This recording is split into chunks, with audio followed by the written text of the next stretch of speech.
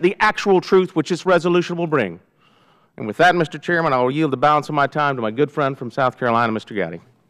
Mr. Chairman, I would just uh, simply say this. There's been a lot of discussion this morning about Wide Receiver, about previous administrations. Mr. Chairman, let me be very clear. Bring them all. Bring everybody before this committee. Anyone who has information about gun walking, bring the information before the committee because gun walking is wrong no matter what administration does it. So bring the Republicans and bring the Democrats and bring the Bull Moose Party and bring the Whigs. Bring them all.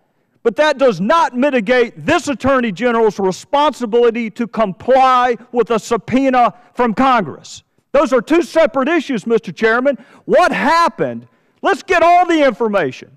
To all of our colleagues who want to blame the Bush administration for everything that has gone wrong in this country, give them their day. But that does not mitigate this Attorney General's responsibility to comply with the law. And I'll say this in conclusion, Mr. Chairman. Like my friend Pat Meehan from Pennsylvania, as a former prosecutor, this is a sad day for someone who worked for the Department of Justice, I hasten to add, in a Democrat administration.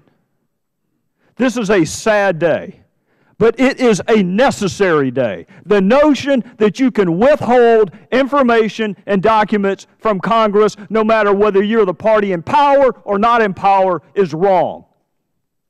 Respect for the rule of law must mean something irrespective of the vicissitudes of political cycles.